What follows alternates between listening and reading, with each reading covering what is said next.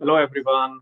Um, good morning, good evening, and good afternoon to, to all, all of our friends who have joined for this webinar. I'm starting, um, uh, very excited to start this topic today uh, for the webinar. This is a rapid discovery. How can we accelerate the drug discovery from hit ID to clinic um, as a collaborative effort between Syngene and um, Axcelead.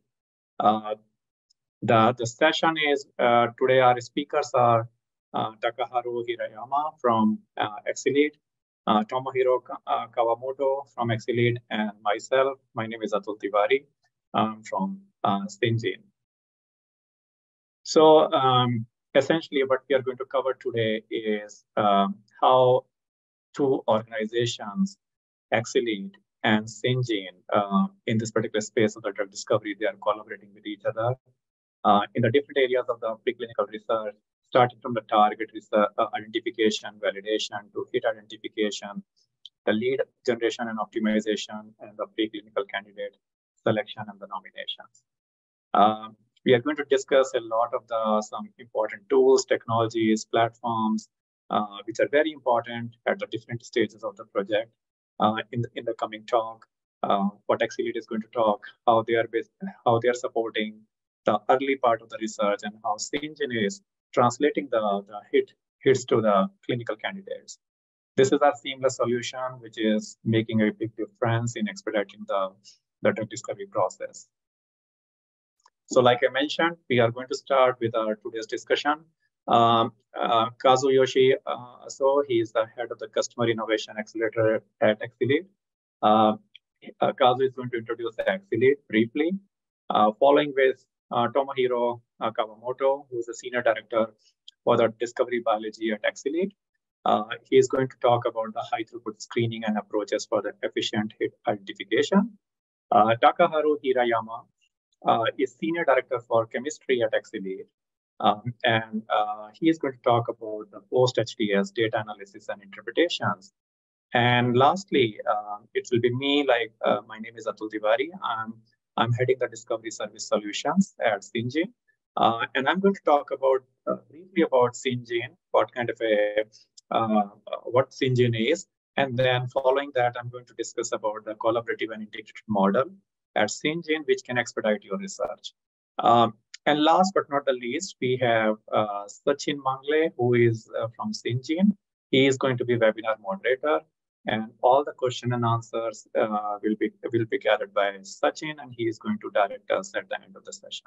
So with that, I welcome all the speakers, all the participants for this webinar, and I hand it over to Kazu to start his presentation. Uh, hi, uh, thank you for coming to Xinjiang and Axcelead uh, collaboration seminar today.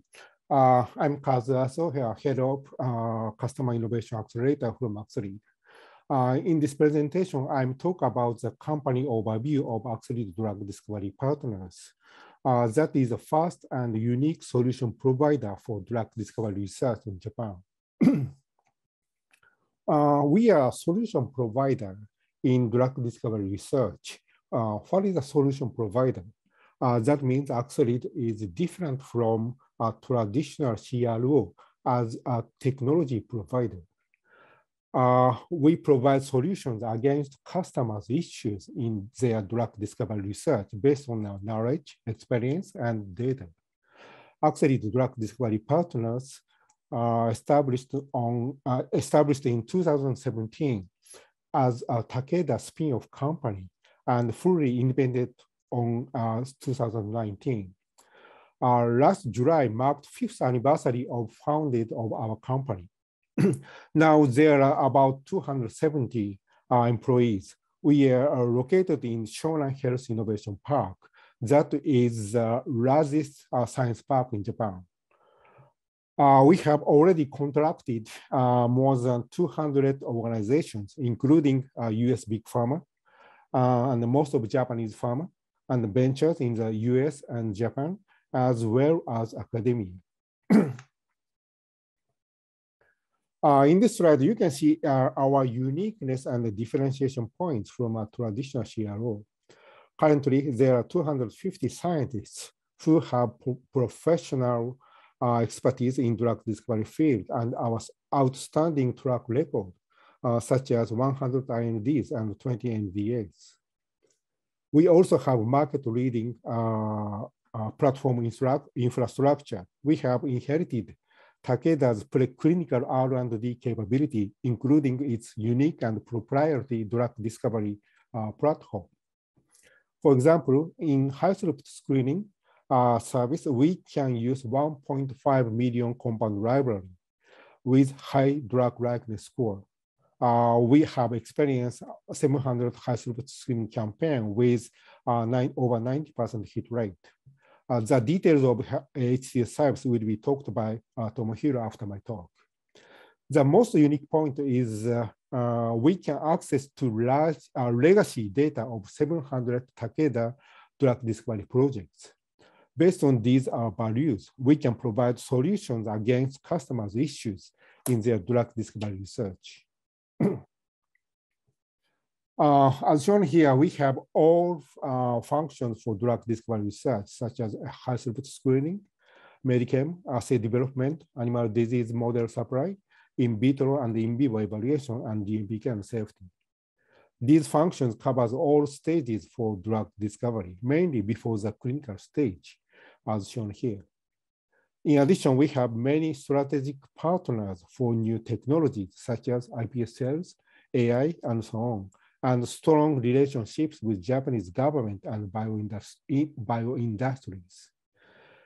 Okay, uh, after my talk, Tomohiro and Takaharu will talk about our company, uh, uh, our capability. Today, uh, they will focus on high throughput screening and post HTS uh, activities. Please, that Tomohiro, please make a presentation for the high throughput screening service. Okay. Okay. Okay, let's start. Thank you all for attending this webinar. I'm Tomohiro Kawamoto, Senior Director of Discovery Biology Group at Axlead. Hit finding process, providing the starting point, is the most important to succeed in drug discovery. Today, I would like to talk about the reason why Axlead can successfully find high quality hit compounds enabling rapid drug discovery. This is the outline for today's presentation. Firstly, I would like to talk about success factors for heat identification. Uh, these are success factors for heat identification. ACID has large-scale libraries, cutting-edge facilities, broad range of assay platforms, and well-experienced researchers. Especially effective collaboration between biologists and uh, chemists uh, is essential to discover high-quality heat compounds ACID has all factors enabling hit identification. ACID can provide comprehensive HTS services through an integrated HTS platform.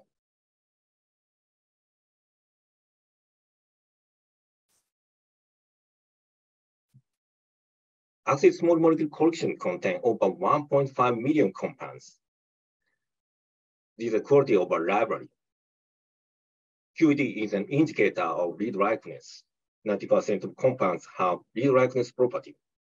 6% compounds were originally designed and synthesized. The features of a library uh, are real-likeness and diversity. These are library sets for HTS. We have two types of libraries, diversity libraries and forecast libraries. Single library consists of 126,000 compounds. Full library consists of 500,000 compounds. It contains 10 different compounds per one sample. It will enable us to do large-scale HTS efficiently. We have multiple forecast libraries. In addition, uh, we can construct a forecast library selected from 1.5 million compounds library by virtual screen using in silico technology. This is a schema of Axlead libraries covering various targets. For example, for low ligandable targets such as PPI targets, we recommend applying not only diversity libraries, but also XN 5 library and covalent compounds library. For new modalities, we establish focused library for RNA targeted drugs and protein degraders. For phenotypic screening, biological annotation library is useful for mode of action analysis and screening uh, of combination drugs. So we can arrange the optimal library sets according to the targets. This is the hit identification process in Axelid. It contains multiple steps to discover high quality hit compounds. It contains strategy planning, assay development, primary HTS, including pilot screen, a counter assay to exclude false positives, and hit selection. After that, uh, we can provide both heat expansion and profiling in the post-HTS prior to the lead generation. Uh, it is useful for making a lead generation plan and prioritization of the hit chemotypes. So Axelid can offer high quality heat compounds with sophisticated strategy. This is track record of HTS campaigns. We have successfully completed around 700 HS campaigns for various target classes with high hit rates. We have historical data about all programs. Based on our of experience, we can provide the best strategy and solution. This is our strength in the HTS platform.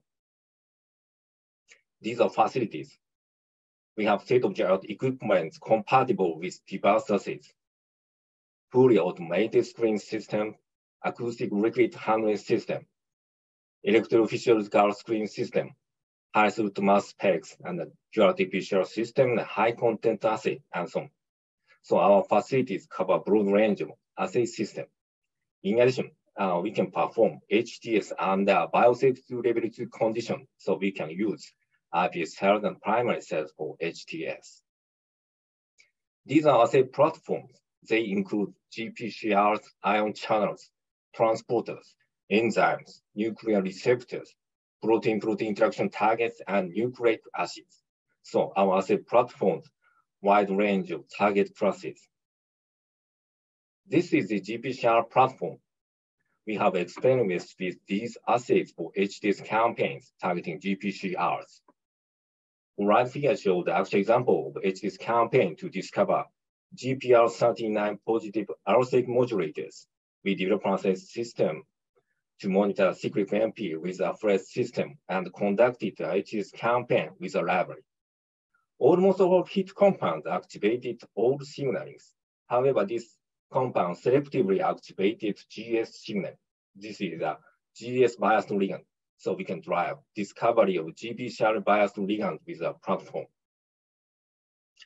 A rapid fire system enables us to conduct label-free assay by directly monitoring substrate and products. This is actual example of discovery of LDHB inhibitors using rapid fire mass system. LDHB is a lactose dehydrogenase we detected both NADH and NAD with a rapid fire mass system and conducted a campaign with a library. Finally, we found hit compounds. This is a representative hit compound. This is the first selective inhibitor of LDHB. We clarified binding mode with X-ray crystallography. This compound bound to the allosteric site on LDHB. So we can drive discovery of enzyme inhibitors using rapid fire mass system. Here we have capabilities on in vitro assays for profiling, uh, biochemical assays, and mode of action analysis, kinetics, and cell-based assay to evaluate target engagement, cellular function, and biophysical analysis for target compound interaction assay, SPR and affinity selection mass spectrometry, and so on. And structure biologists can clarify the binding mode with X-ray crystallography, so we can drive the structure-based drug discovery using various technology from hit compounds. Moving on, I would like to approach to drugging unknown targets. This is a track record on phenotypic screen. We have successfully achieved more than 70 campaigns with phenotypic screen. This pie chart and table show assay methods and usual screen library size. Our assay platforms covers broad range of assay methods based on out of experience, we can propose the best screen strategy and solution according to your needs. We have a partnership with Fujifilm Cellular Dynamics, FCDI. They can provide IPS differentiated cells. This is actually example of phenotypic screening using iPS cells. We developed assay system to monitor the fluorescence labeled A beta uptake using iCell microglia cells. The uptake activity in TREM2 mutant microglia cells is decreased compared with the wild type. So we conducted this campaign to discover activators of phagocytosis using microglia cells. Finally, we found heat compounds. This is a representative heat compound. This compound activated A-beta uptake in TREM2 mutant microglia cells selectively. We are now investigating the mechanism of action for heat compounds, so we can drive phenotypic screening using iPS cells. Here we have capabilities on target deconvolution.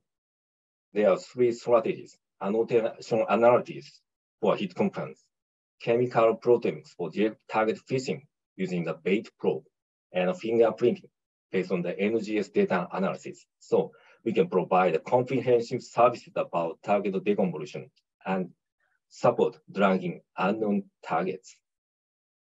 Using high quality and attractive libraries, cutting edge facilities, and comprehensive assay platform, we can drive phenotypic drug discovery for hit lead finding, drug repositioning, and target discovery. Next, I would like to talk about solution for drugging undruggable targets. There is a world trend towards new modalities such as target protein degraders and RNA targeted drugs. These new modalities shed light on small molecule drug discovery. The potential targets for small molecules have been expanding. So we have constructed platforms for new modalities. These are solutions for targeted protein degradation. We constructed a molecular glue library consisting of 6,000 compounds.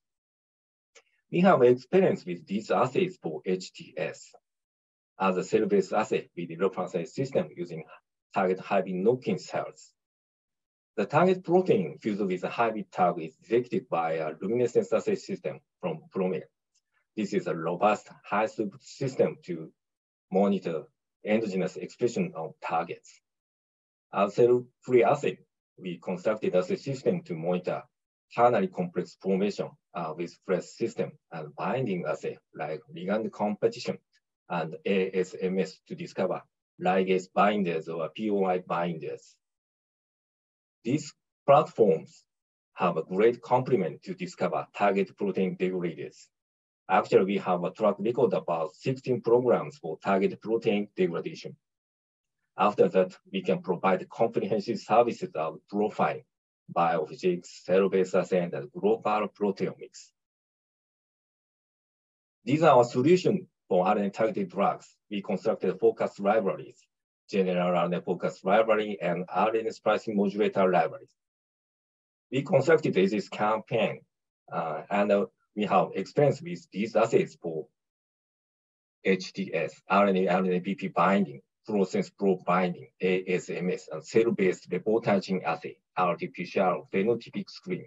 After that, we can provide multiple profilings, biophysics, cell-based assay, and NGS data analysis. This is actually example of discovery RNA binders with high throughput ASMS, affinity selection mass spec. This is a biophysical screen. It enables us to conduct HTS for targets not amenable to traditional biochemical screen. We conducted this campaign for FM riboswitch RNA binders. Finally, we found hit compounds from diversity library and RNA focused library. This compound is a representative compound. Uh, this compound bound to the FMN riboswitch RNA with a KD value of 65 nanomolar. These compounds were completed with its natural ligand FMN. We clarified the binding mode with X-ray crystallography for small molecule. Actually, we have a track record about 15 programs for RNA-targeted drugs, so we can drive discovery of RNA-targeted drugs with our platform. I would like to summarize the points so far. We have three strengths. Firstly, we have pharma origin attractive library. Secondly, we have state-of-the-art infrastructures, including fully automated screen system. Finally, we can find and we can provide high quality and comprehensive services in heat identification, including strategy planning, assay development, HTS profile, and heat expansion led by medicinal chemists and uh, high throughput audiometrics profile. So uh, we can we can rapidly offer high quality hit read compounds through our integrated platform. Next speaker is Dr. Hirayama, head of chemistry. Uh, hi everyone, uh, nice to meet you. My name is Takahashi Hirayama, head of chemistry of uh, Axory. For the next slide, I'd like to talk about our post-HTS strategy. In many cases, HTS hit compounds uh, present several challenges, such as insufficient potency and information for judgment, limited uh, chemotype number, and also difficult prioritization. In order to uh, solve these challenges after HTS campaign, we strongly uh, propose post-HTS process. And uh, finally, find advanced hit compounds with enhanced potency and uh, extensive information. Post-HTS consists of two main processes with our uh, four features described here. First uh, process is related compound assay. For this assay, related compound of hits are selected from our uh, compound library by mechanical research and medicinal chemist aspects to expand reference area. The second process is new chemical synthesis by medicinal chemists with our parallel synthesis technologies and assay for initial study, including ADME-tox. In many cases, uh, we also conduct scaffold, uh, scaffold hopping to find more potent scaffold through uh, this entire process, we can uh, certainly expand and prioritize hit chemotypes uh, based on uh, their actual pros and cons, leading to select the uh, most promising chemotype for uh, lead generation. Next, I'd like to briefly introduce our high throughput power synthesis technology. By using this platform, about 100 compounds can be rapidly synthesized within five to 10 days. But uh, this is a list of the uh, reactions that we can apply. Not only the reaction listed here, but also other reactions and multi-step reaction are also available. In addition to the power synthesis, uh, we can also screen the uh, reaction condition, which can provide rapidly uh, the optimal condition for each reactions uh, out of 48 uh, conditions within 48 hours. Recently, we have established a new system that guides the expansion of heat compounds based on the parallel synthesis technology. We call it the farming system which stands for Fast Accessible Library and Rapid Modifying System. We have about 40,000 reagent sets. Half of them are originally synthesized building blocks, not commercially available. By crossing these building blocks in stock, we have designed a virtual compound library of over 2 billion compounds that can be synthesized immediately. Of this process can automatically replace the specific moiety of molecule into an appropriate building block based on similarity of structure and uh, physical chemical property, resulting in generation of various molecules different from the original hit compound. To furthermore accelerate the DMTS cycle, we often use other proprietary in silico tools we call A-code. By effectively uh, using self-developed tools, uh, we can increase the finding efficiency for advanced compound. Uh, this multidimensional approach, including virtual screening, uh, is particularly needed uh, for dragging and drag out targets. Uh, finally, I would like to summarize my presentation. Of the obvious difference, uh, differentiation point from other CROs, we have enormous drag-like compounds and building blocks in our library. The number is about 1.5 million, and large amount of legacy drug discovery data, including target-related and ADME-tox data. uh, derived from pharmaceutical company. We can fully access and utilize uh, these assets internally for your research to solve any issues. In addition, we have self-developed uh, in silico tools, A code, and rapid and high throughput power synthesis technology.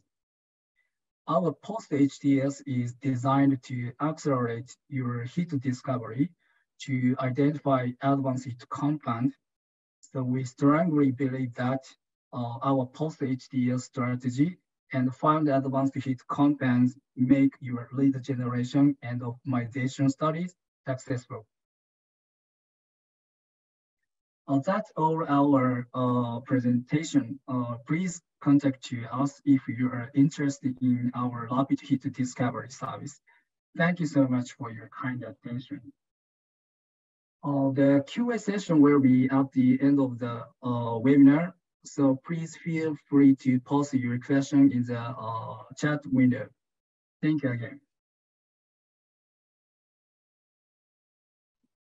Thank you, Takahiro-san. Um, this was very good. Um, and I'm going to take up the last part of our webinar, um, sharing my screen. So I'm going to talk about now the, the next phase of our webinar. How can we further accelerate the drug discovery from the hit to the clinics and how Syngene is um, helping our uh, multiple partners in expediting their research in a very collaborative and integrated model. So just to give you a brief background about Syngene, those who um, in the audience and the participants who don't know about Syngene, Syngene is a global CRO CDMO. Uh, we provide uh, end-to-end services uh, in the drug discovery, development, and manufacturing, and we are into the existence for more than 26 years as of now. Um, we are working across the, the, the, spectrum of the different uh, modalities, right from the small and the large molecules, antibodies included, ADCs, oligonucleotides, and PROTACs with a market cap of $3 billion. What we are currently working is, I think, is mainly, uh, and uh, you know, and our existence and our success lies with the trust from the clients. I think this is the one thing that we we value a lot in our collaborations and partnership uh, to deliver the different types of the clinical candidates and taking the compounds forward for any development purpose. Uh, we are based out of um, uh, based out of India as of now, and we have the presence in three different sites in India: uh, Bangalore, Hyderabad, as well as Mangalore. Bangalore is mainly for the manufacturing plants. Um, I think the key advantage is that we have the different types of the uh, all the end-to-end services, like I mentioned, and we have the extensive experience in providing the solutions to the different uh, levels of the complex scientific problems. Uh, and we have the proven track record um, at scaling of the strategic partnerships. We have the partnerships starting from the uh, from the one uh, very very small work with the one FTEs to to more than 100 FTEs. Uh, and this is a very flexible business model with um, cost-effective operations and the labor arbitrage. Uh, we we provide the IP to our clients. So it's a pure play CRO. So we don't have, we don't own, own the IP and we don't have any of the internal programs also where there is any kind of a conflict of interest. Um, as I mentioned, we are differentiating here as an integrated provider for the discovery, development, and manufacturing services across um, uh, the different levels end to end, both in the small and the large molecules. So we are working uh, uh, into the different areas. We started our journey starting with the small molecules, added the peptides slowly over there. Small molecules still uh, stay, uh, they, they are the mainstay of the drug modality, what we are working on. Um, around um, uh, eight years back, we started pouring into the antibodies space we started developing like the tool antibodies, the reagent, some of the for the reagent purpose before we uh, moved into the therapeutic antibody space. And now currently we are working with the oligonucleotides, the antibody drug conjugates, uh, the target protein modulators, particularly with the PROTACs. And we are also working with uh, the other mechanisms of the degradations, uh, like the AUTACs, which is the autophagy uh, degradation. And then, of course, we are working with the cell therapies like mainly the CAR T space as well as the iPSCs for the screening purpose. So I'm just going to switch over here the, the gear actually and just to understand that, you know, how the drug discovery continuum is happening. And I think the drug discovery continuum is a very uh, quite expensive, the long term and the high risk affair. And as you can see into this kind of a flow diagram that uh, the cycle time is pretty long actually, you know, for a drug to, you know, right from the uh, the, the concept stage uh, from the target validation before it goes uh, into the market. Uh, and then the probability of the success is fairly low uh, for the different stages. So we start like, you know, Axcelead mentioned with the target validation followed by the compound screening. And this thing can be, uh, is done by the HTS is one of the main technologies, which basically conducts this particular thing uh, before the compounds move forward into the different stages of the lead generations, the lead optimizations with the SAR optimization by the medicinal chemist. Uh, and the properties, different PK/PD properties of the of the compounds, and before it goes into the clinics. But I think the, the learnings uh, as of now from in this uh, drug discovery process for for more than um, uh, I would say uh, the uh, 670 ads is like the average time for a compound moving from target to market is uh, is 12 to 15 years.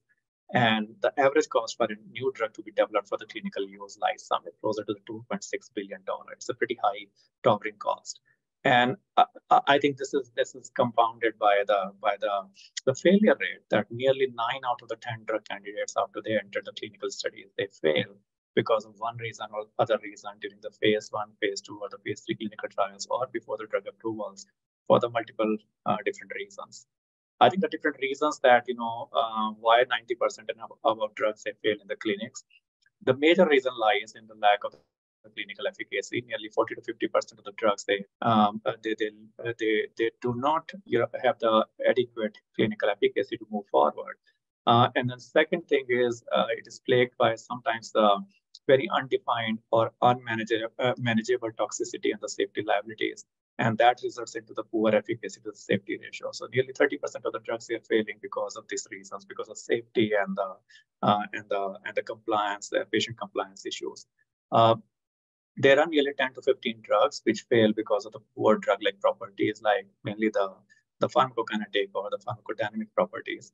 Um, and then there are certain reasons beyond the some of the technical reasons, and these are also some important factors. For example, the changing market, the lack of the commercial needs, the patent life of the drug, you know, uh, before it goes into the market launch. Uh, these are the factors which are the driving factors, and uh, of course, the poor strategic planning, like you know, when there is a change in the focus in the portfolio, and suddenly uh, the the programs uh, they are prematurely they are terminated. So, uh, so this is solving the story of the, the drug discovery, and not on the uh, beyond that. You know, the question here is even in terms of the timelines. Uh, I think the serious question is we have seen during the COVID time that the vaccines they were delivered in under a year, almost like uh, in 12 to uh, 18 months. We saw the um, the discovery of many of the COVID-19 vaccines. And I think the question here, what it is very legitimate question is to ask, why does it normally take a decade or more to discover and develop the new medicines you know? Because our timelines are really like you know almost like uh, 10, 10 to 12 years and above. So i think the one of the question uh, one of the uh, uh, question and you know what we are, i'm going to focus actually today is that you know why there's a lack of clinical efficacy under the first two points and second thing is what's the safety liability? And how these things they can be uh, understood early on uh, and of course, uh, when I say about the poor drug-like properties, um, there's nearly threefold improvement since 1990s. You know, uh, if you see that time, the understanding about the uh, about the phase one uh, and the phase two, you know, the the PK properties of the drug actually, or the from the preclinical species to the to the human translation of the PK. Uh, that was in the infancy as compared to what we see now. There are multiple models which are helping uh, in, in, in, improving the drug-like properties early on in the preclinical space. So there is a, a, dramatic improvement, but still the efficacy, clinical efficacy, and the safety, they remain of paramount importance. So, um, uh, so as you can see onto this, uh, this picture that uh, the initial stages when the compounds are into the lead optimization, a lot of the candidates they or the molecules that fail, they exit because of the poor PK/PD or the safety and toxicity. And then in the when they enter into the phase one, uh, the major issue is the poor tolerability. Nearly 40% of the compounds they fail over there, and uh, and then the poor PK uh, in this particular stage to the translating to the human. Um, and uh, out of these compounds, what are the molecules they enter from the phase one to phase two? Uh, we see nearly 40 to 50% drugs again failing in this particular stage because of the poor efficacy. And subsequently, again, the number is lies close to the 50% only. And the reasons are because of the efficacy or the safety, if not the, uh, the market factors or other driving factors. So uh, it, it goes back, it takes us back actually into some of the early stages of the drug discovery. Uh, and I think it puts some uh, critical questions here uh, to be answered. Um, uh, whether the what's the level of the target selection is is it really are we confident about the target selection? Uh, the second thing is have we if you have identified the right target, is the validation adequate or not? I think that that's a question. And what's the approaches which have been used to validate the target? And very important thing is most of the drugs are failing when they uh, when they go into the animals to the humans. So uh, this is a gray area right now because of the translatability of the animal efficacy to the human efficacy. And I think there are multiple questions over there and the different approaches which are emerging, which can help into the drug discovery. Uh, and the very important point here is uh, uh, from in terms of the drug exposure. And so far, we uh, the trend has been to look the drug exposure into the into into some of the target tissues uh, or into the plasma mainly, and using that particular concentration, the Cmax values and the other pharmacokinetic parameters uh, from the different species, and doing the allometric scaling to predict the human dose. Uh, the, the, the trends are emerging where the drug exposure into the disease target tissues versus the healthy uh, tissues, they are very important. So definitely the preclinical studies, uh, this is the new um, uh, is very important thing that uh, any of the disease target tissue should have what is our drug exposure over there as compared to the healthy ones. And of course, like you know, anything for the early safety predictors, what are those? Um, uh, the whether it is through the selectivity or it is because of some uh, other reasons, what can be predicted early on. So what are the current approaches and the and the trends uh, or, or, the technologies and the trends which are emerging to speed up the drug discovery and the development? Uh, so, so here are the some of the things. Uh, for example, the machine learning and the artificial intelligence, particularly the AI, is helping a lot. It is driving the, uh, the, the science and trying to cut down the the cost as well as um, speeding up the drug discovery process. Uh, it is very helpful into the target identification space, the drug repurposing, uh, managing the DMTA cycle, which is a design, manufacture, uh, design, make, uh, test, and analyze. Uh, and of course, into the HTS, into the virtual screening, the structure-based screening, uh, the phenotypic high-content imaging-based approaches, um, and, and of course, uh, from the patient data or whatever is the clinical data from the different trials which is existing. So machine learning has multi dimensions, and it is helping a lot in cutting down the some, some of the timelines as well as uh, as well as the cost. The second thing is the digitization and the automation um, of the processes um, as compared to a lot of the manual process. And when I say this thing, this is this is not only applicable to the um, to the to the scientific components, but there are many components uh, which are beyond science, which are like the logistics and, and and other areas, and how that digitization is helping in those in those components also. Then, uh, importantly, like I mentioned the previous slide, the strong translational sciences, uh, and particularly, like I said, the screening into the cells from the healthy versus the disease subjects. I, this is something extremely important area. Uh, and, and a lot of the biobanks, you know, from where if we get the right, uh, uh, right, uh, the samples, from the disease subjects, uh, depending on the biopsies, and uh, you know, so that, that that's going to help a lot. Uh, the second thing is the use of the iPSC, it's the normal versus the mutants. If these can be genetically engineered, uh, they, they, are, they are helping a lot in the early understanding for the translation of the efficacy from the preclinical stage to the clinical stage. Um, and uh, the humanized mice, this is, these are the other ones which are, which are paving the way in this particular area and they can cut down the failure rate. Uh, and of course, like I mentioned, the drug exposure in the disease target tissues versus the normal healthy tissues, um, and comparing it with the free versus the bound plasma drug concentration, not only going with the free drug concentrations.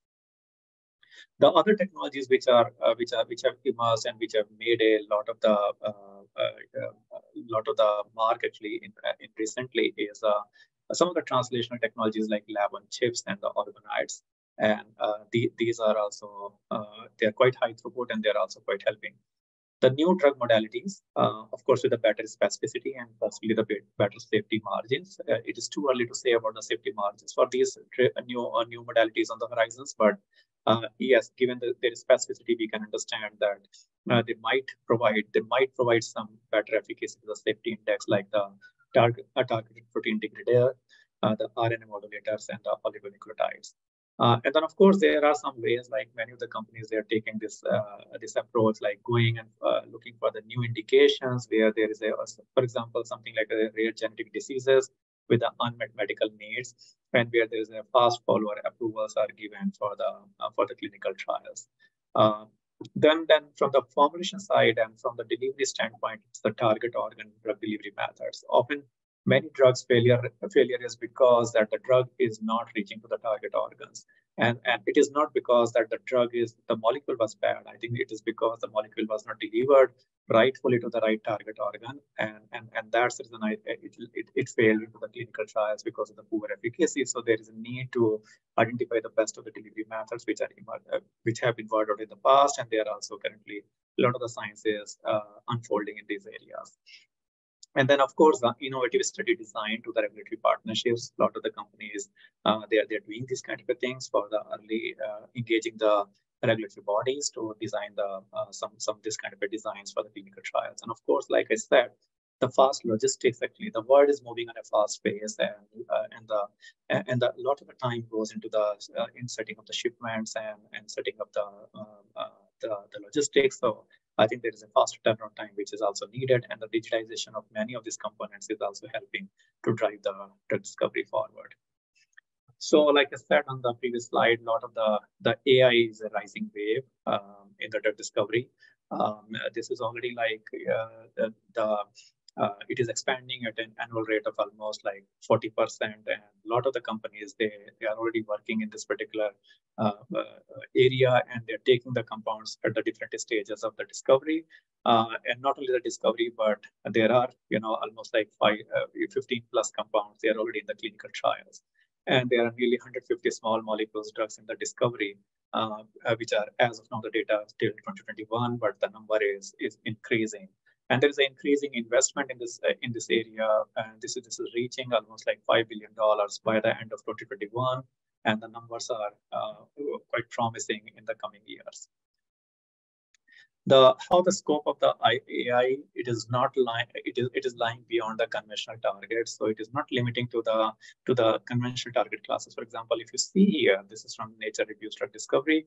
The lot of the AI companies they are working on the kinases, non-kinases, GPCRs, and the and the classical targets. Uh, and in the conventional areas like the oncology, uh, is, the, is the main area, mainstay for the AI also, uh, because there is a high need in the oncology for, and, and there are different types of the cancer. So, so AI plays is playing a very big role over there. Um, as any other top pharma companies. their focus is mainly the oncology, but nonetheless, it's coming in a big manner into the central nervous system CNS area portfolio, as well as in immunology or in anti-infectives also. So, uh, but but this is not limiting to to the conventional target classes because there are some lot of the AAV-derived compounds for the novel targets like the SHP2 or the DNA helicases or the MALT1. These are already going into the first in the human uh, trial studies and the IND applications. They are also uh, initiated. So uh, the so definitely AI has a potential to inform whether a drug is going to successfully engage an intended target, like the cancer-related protein, for example, or whether a candidate drug is going to bind to the uh, to the unintended targets in the body, and that's going to decide about the undesirable side effects or the safety index for for the patient. So I think a lot of this knowledge can be can be harnessed early on. Uh, it is the AI is helping in understanding of the target and, like I said, the safety index early on. And it's helping both in biology as well as in the chemistry. In biology, finding the right biological targets uh, through the omics data, through the uh, biomarker data, through uh, any any of the uh, experimental, like the high content imaging data from the phenotypic screening, understanding the protein interactions uh, on uh, using the crystal structures and the other, uh, and of course, of course, on the durability of the protein structure predictions also. On the chemistry side, this is helping a lot in identifying and designing the small molecules for the preclinical candidates and uh, how AI is helping to explore the adjacent chemical space in the targets, um, and, and, and how the, the AI analysis uh, is, is helping using the molecular structure like the protein structure, uh, and then using the experimental data to predict the, the sort of the SAR early on, uh, and generating the lead like small molecules which can be which can be burned out. So um, so a lot of the important properties of the AI is, is overall helping in terms of predicting the pharmacokinetic and the pharmacodynamic properties also across the different species, how the compounds are, are, are moving um, uh, from the one stage to another stage and how they're going to translate finally in terms of the, the, the PK and the PD and the efficacy properties uh, from the preclinical species to, to the humans. Now, uh, I, uh, we, we call it like you know whether the question here is whether the AI is going to replace the complete thing like the uh, I, I, think the answer is no but definitely one of the greatest hopes for the AI enabled drug discovery is how AI can accelerate the drug discovery timelines through the rapid target identification and the validation and of course how it can cut down the time uh, which is going into the molecular design and the optimization and in a classical like as a DMT cycle. So this is a, this is going to be like as a combined approach of the the, the, the robotics and the humans uh, AI. This is going to going to work out together. This is something like what Pharmatech published recently, and this is a case study from Astellas. Uh, how they have used uh, the different tools uh, of the AI and the digitization, particularly to, to manage the DMTA cycle. And and and, and like i said this is this is going to be like as a mix of mind and the machine ultimately when it comes for the dmta cycle. Uh, and and ai is is one component out of that just to expedite the the discovery process.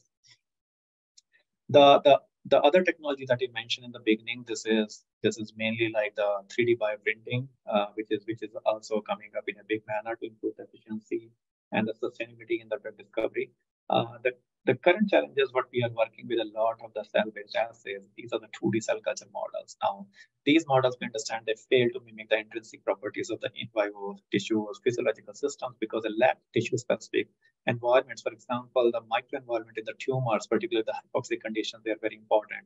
And, and, and uh, the absence of such kind of environment can predict the uh, wrongly any data. So uh, so, and, and, the second thing is, the, uh, like I mentioned in the beginning, that there is a uh, the translation of the animal efficacy to the human clinical trials that is that is still questionable for many indications. In many indications, like you know, in, in oncology or in some other areas, maybe we have the better translation, but it may not be in the Parkinson's and Alzheimer. We don't have the best of the translations right now. So how the 3D bioprinting is helping, I think 3D bioprinting is, is trying to cut down this kind of a timeline uh, by, by using a lot of the organoids as well as the spheroid models early on. And this has been already employ, employed for the uh, small molecule vaccines and for the different therapeutics. So, so these models are, um, and they, they generally, they are the HTS compatible. They use the patient-derived cells, and I think that's the advantage. And since they, they, they they use the um, is a co-culture system, so which is a right uh, uh, right environment for the uh, or right suitable physiological environment, uh, which carries the uh, the proper extracellular matrix component, which are important for the cell growth and maintaining the phenotypic functionality.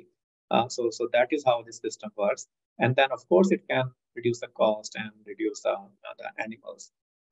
and as the as the things move forward, in the preclinical to the clinical translation, uh, the 3D bioprinting is also coming very handy for the advanced delivery systems, uh, particularly the cell therapies where the cell has to be delivered to the to the uh, to the right tar target organ, for example.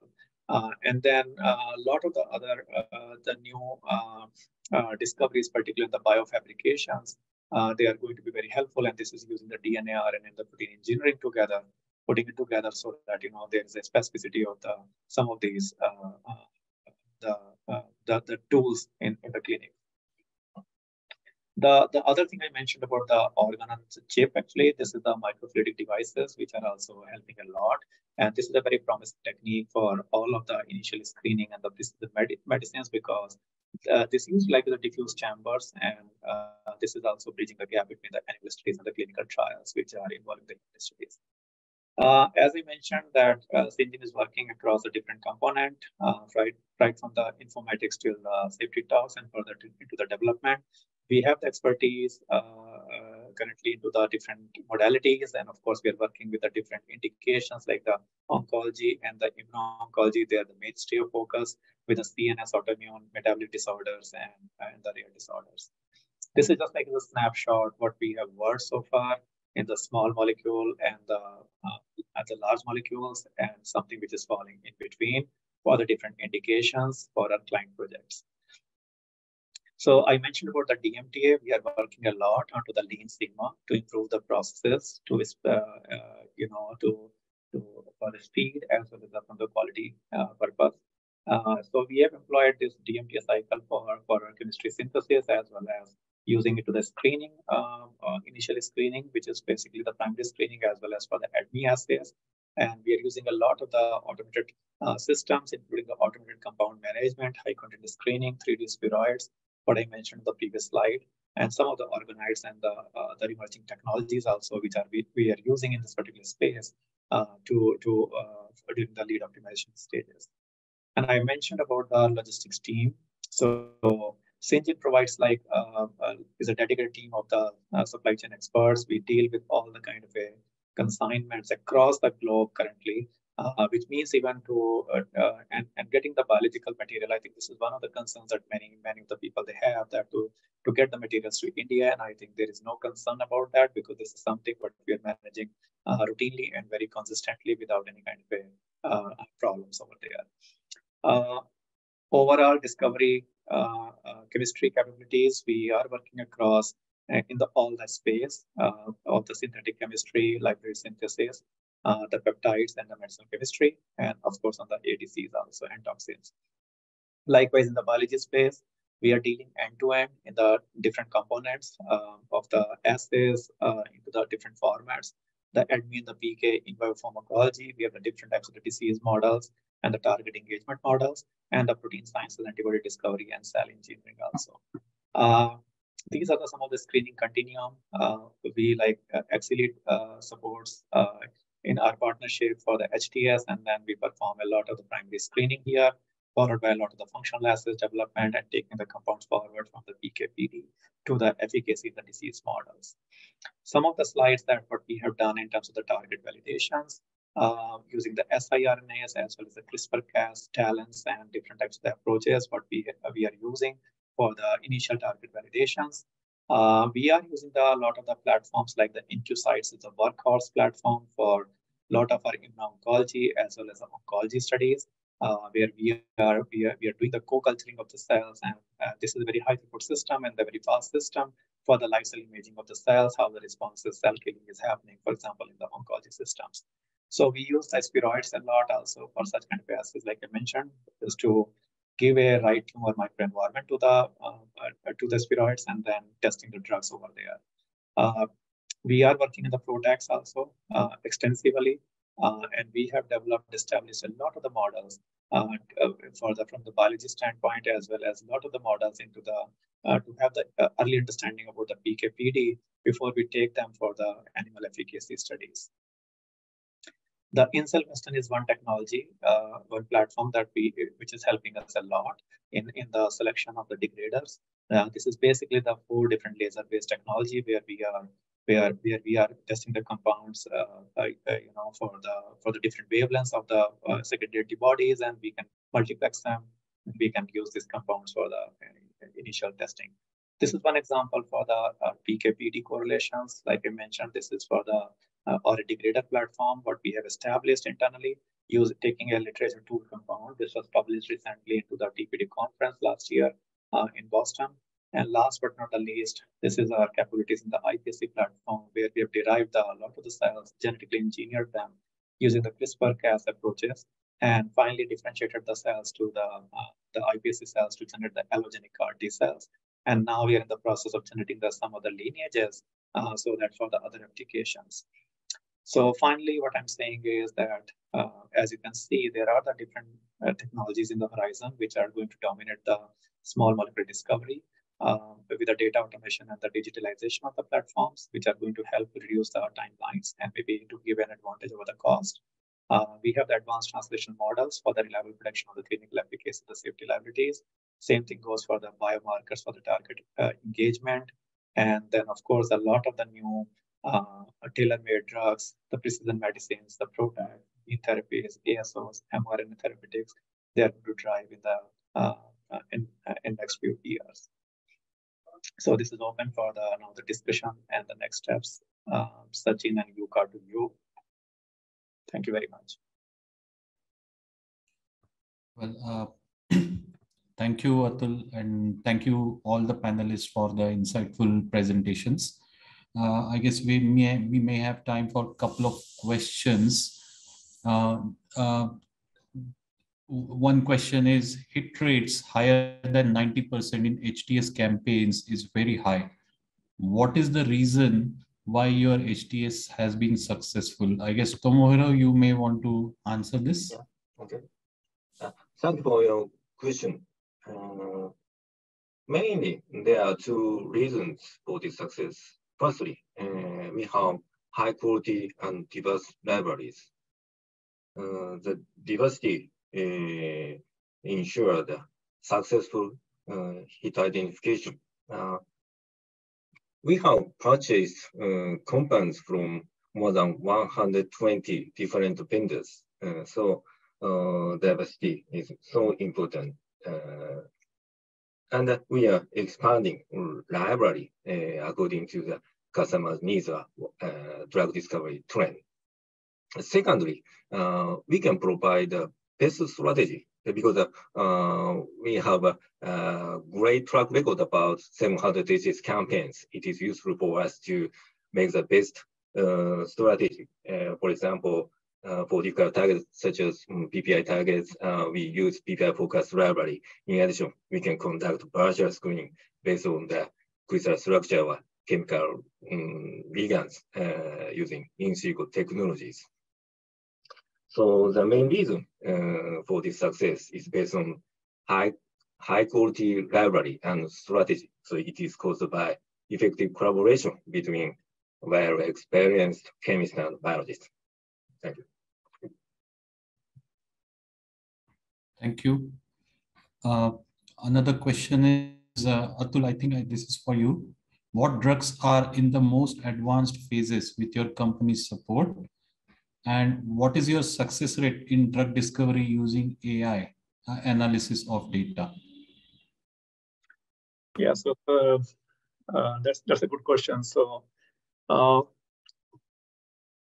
I think I presented the chart actually. So currently we we are successfully delivered the drugs which are into the phase one clinical trials and phase two basically some uh, a couple of drugs which are entering into the phase two clinical trial. That's our success rate actually in that particular thing. A lot of the targets are there where we are into the different stages of the uh, of the drug discovery uh, prog uh, programs. Uh, what component actually the ai is driving? The the second part of the question is i i'm saying that like we are seeing we are working currently with uh, um, at least five plus partners who are for the hardcore AI based organizations, and we have uh, nearly, uh, I would say, more than 20% of our portfolio is is is driven by the AI uh, identified targets. We are working with them. Okay, thank you, Atul. I think uh, we are uh, come to the end of this uh, webinar. Thank you, everyone for your presentations. And uh, Atul, I'll pass it over to you again for any closing remarks, uh, Atul or Kazu, uh, any of you. Thank you. Thank you, Sachin. Uh, uh, I, I really appreciate everyone, everyone's time. I hope this, this in, uh, webinar was informative. So thank you very much for joining. Kazu. Uh, thank you. Uh, thank you very much joining uh, us uh, this is a very uh, great, great opportunity for us. Thank you so much. okay. Thank you. Mm -hmm. Bye, everyone. Thank you, everyone. Goodbye. Thank Bye. you. Bye. Thank you so much.